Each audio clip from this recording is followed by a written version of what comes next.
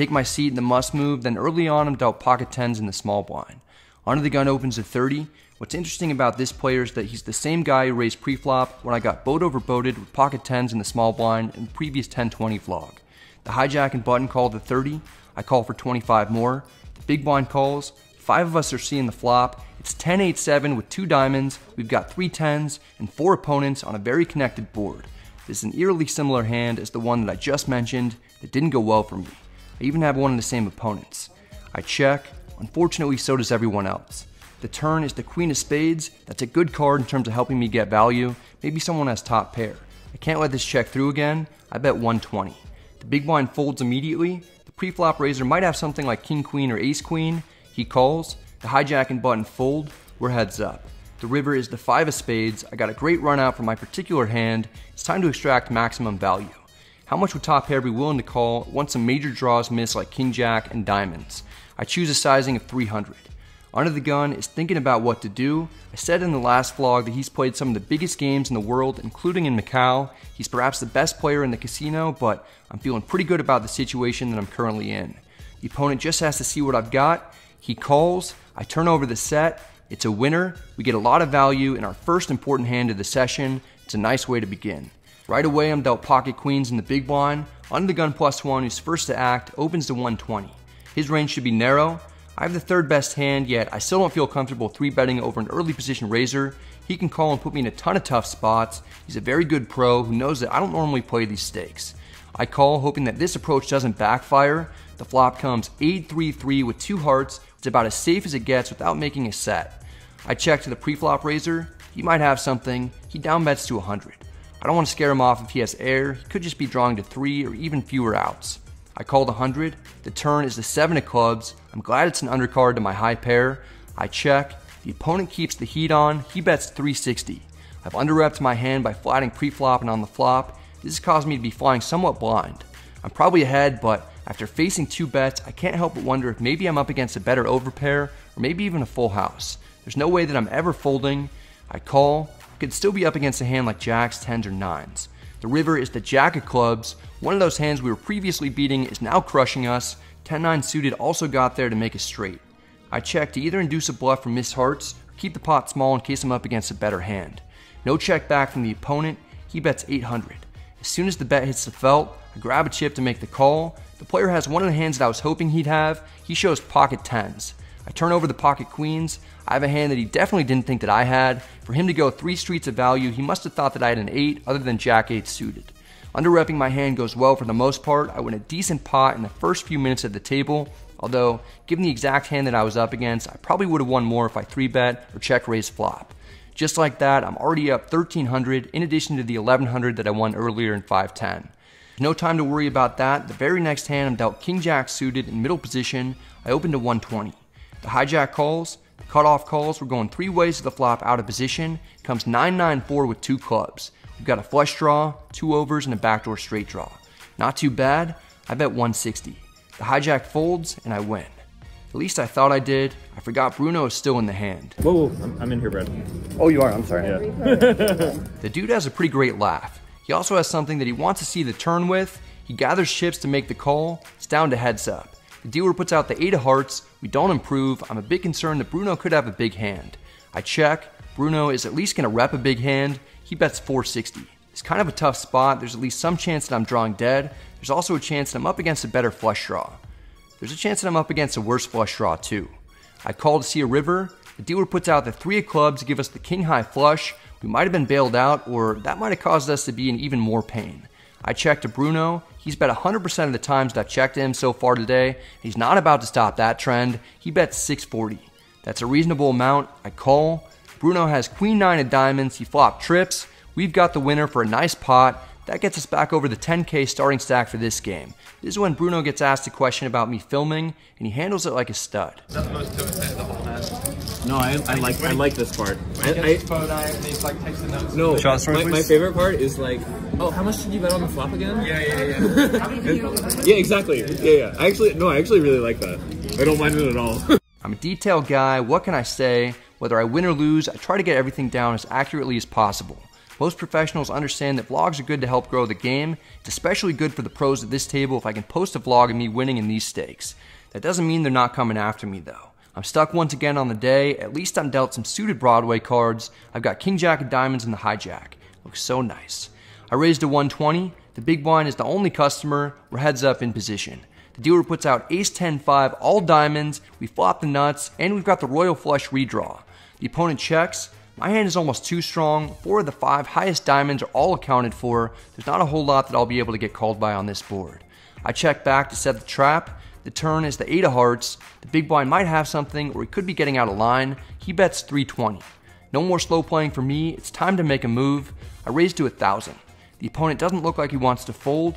Maybe he has a smaller flush, a set, two pair, maybe he just doesn't believe me and has one pair. The big blind calls. This has become a large pot. I'm just hoping that we get a clean run out. Instead, the river is the five of spades, it pairs the board, I no longer have the nuts.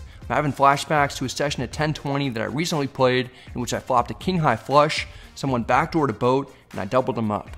That kind of thing doesn't happen that often. I don't necessarily need to be worried about it. The big blind checks. Checking back my hand would be ridiculous. There are a variety of strong but worse hands that can call it bet. I go with my instincts that I'm best, and I make it 2000 to mostly target smaller flushes, but also some hands like ace 10 and ace 8. The opponent has 4090 total. There's only one thing that I don't want to hear, and that's.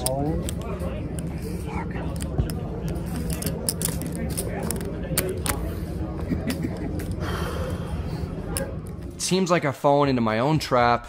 If I call, this is going to be a pot of over $10,000, by far the largest one that I've ever played. I knew it was dangerous betting because with the board pairing, not only could the opponent have improved to have me beat, but I was pretty much only repping flushes with my turn raise after I checked back the flop. Almost never have a full house given how this has been played because I would have bet flop with sets and two pair hands. My range is capped. There's a small possibility the big blind is doing this with a worse flush for value. I doubt he'd do this as a bluff, but I guess there's a tiny chance of that as well.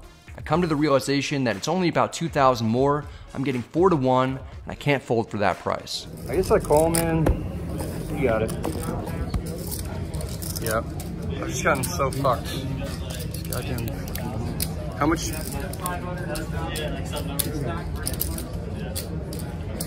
Backdoor boat again. Happened to me so much lately. No bet on the flop? No bet on the flop. didn't bet on the flop and I get absolutely punished for it. The big blind has pocket eights for a full house. He turned a set and got there on the river. I had a 97.2% chance of winning on the flop. I get a nightmare run out and I lose the maximum to get totally annihilated. I have less than 3,000 in my stack. I'm down 7,000 for this game. It's clearly not my day. I'm getting destroyed by the deck. I'm making some bad river calls. I should just go home right now. I don't think that anyone here would blame me. This will be my biggest loss ever if I pick up. Instead, I do something that I wouldn't recommend anyone else do if they were in the same shoes. I pull out 10,000 more and I doubled down. We pick up Queen 4 suited in the hijack. I open to 120. Cut off calls. He's been regularly 3 betting me and putting me in difficult spots. I'm sure he's a nice guy away from the table, but he's been annoying to play against. I've had enough of him. We're heads up and out of position. The flop is 10-9-8 with two hearts. We've got a flush draw, gut shot straight draw, and one over. Altogether, it's good for us. I bet 200 is a semi bluff. The player calls without thinking too long about it. If he had a straight, set, or two pair hand, he'd probably take more time and possibly would have raised. Probably has a one pair type of hand or draw himself. The turn is the deuce of clubs. That's as blank as it gets. I'm not in the frame of mind to hold anything back, and at least one of the queens is accounted for, making it less likely that I'm up against queen jack. I'm going to rep a straight, set, or two pair hand. I make nearly a pot sized bet of 700. The opponent grabs chips and flats again. If he's strong here, he's showing the patience of one of those monks who meditates so long that they turn into a mummy. I really think that he's got a hand with little showdown value at the moment. I'm not sure that I want a heart to come out because a queen high flush could be no good. The river is the four of diamonds. We make fourth pair. This is mostly a brick though. I don't want to have to rely on my pair of fours to win this. I bet 3,000 basically as a complete bluff. It's great to have a queen in my hand. It isn't all that great to have two hearts though. The opponent's a good player. He knows that I'm mostly going to have a straight or nothing in this situation. He's only going to have one pair a lot of the time. He's staring me down to try and get a read on me. It's incredibly tense when you're sitting there overbetting the pot, hoping to get the largest bluff of your life through while someone's scrutinizing your every move. I'm trying not to think about the potential outcomes. It's impossible not to. This bluff is either going to induce a fold and my stack will be at 14,000, or it's going to fail miserably and I'll have lost 4,000 in this hand for almost no reason, and I'll be stuck a demoralizing 11,000 in this game.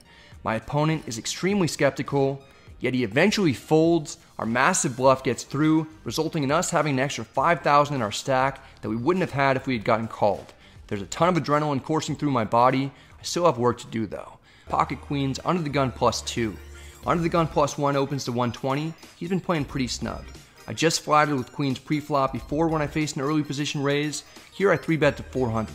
This is going to look super strong, the under the gun straddler is named Ping, he's a great player and great guy, He's assessing the situation and appears to want to get involved in some way.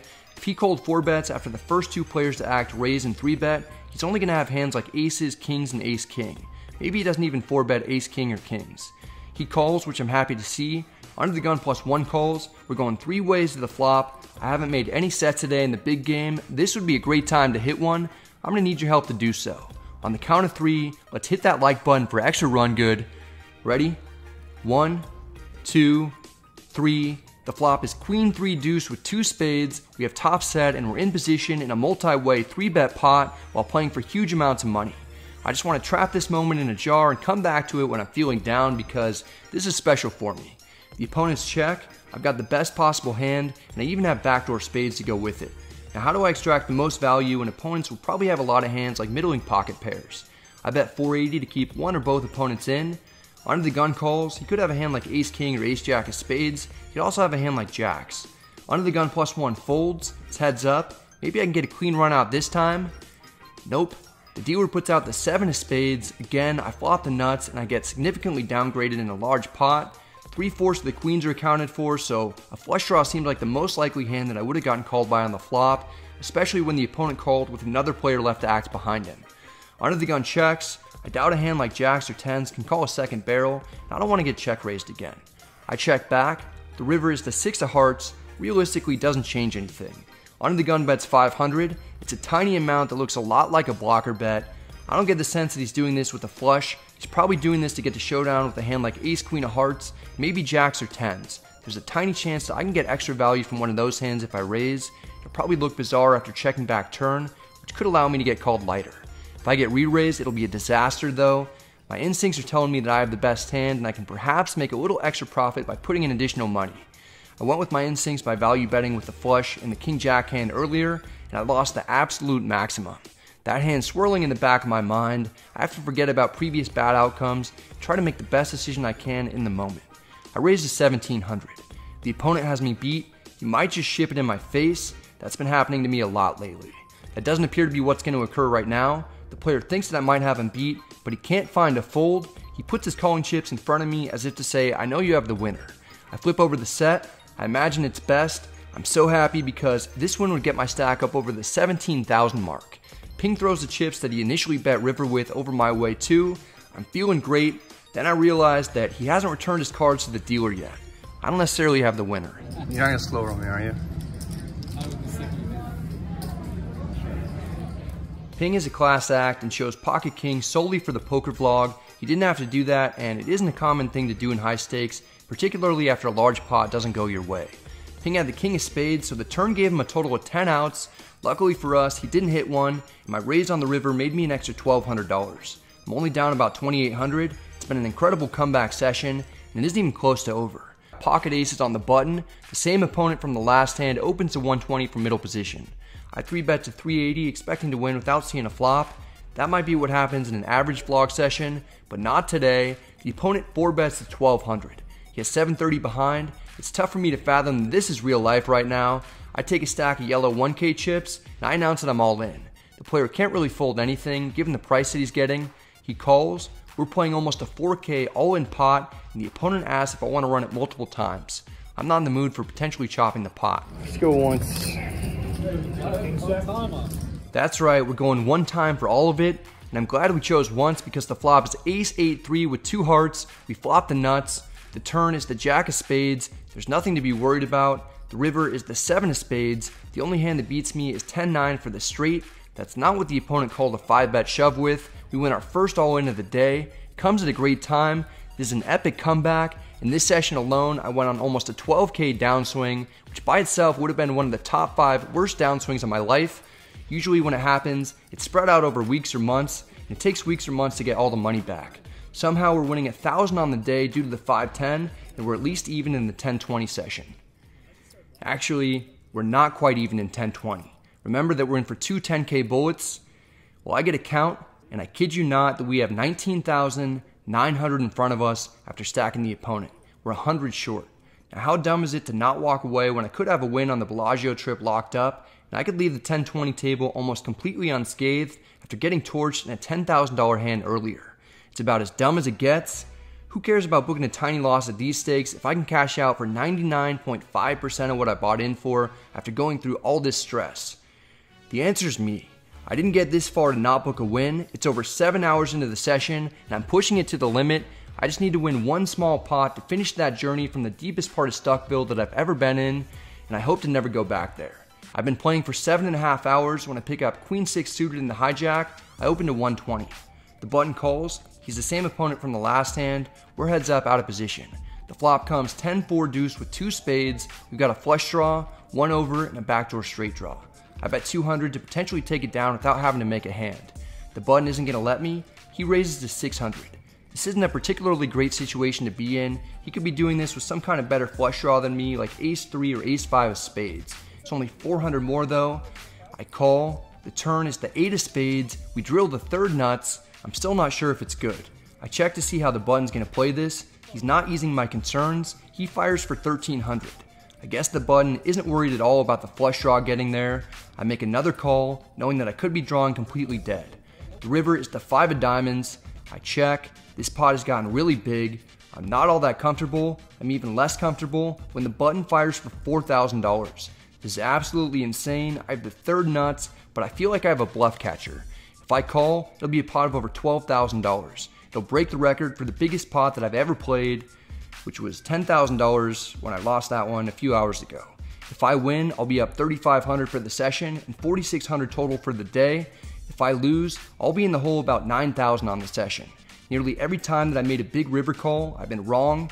Somehow I haven't learned my lesson. I just don't have Amy to fold a hand that's this strong, so I brace myself for the bad news one more time and I put in calling chips.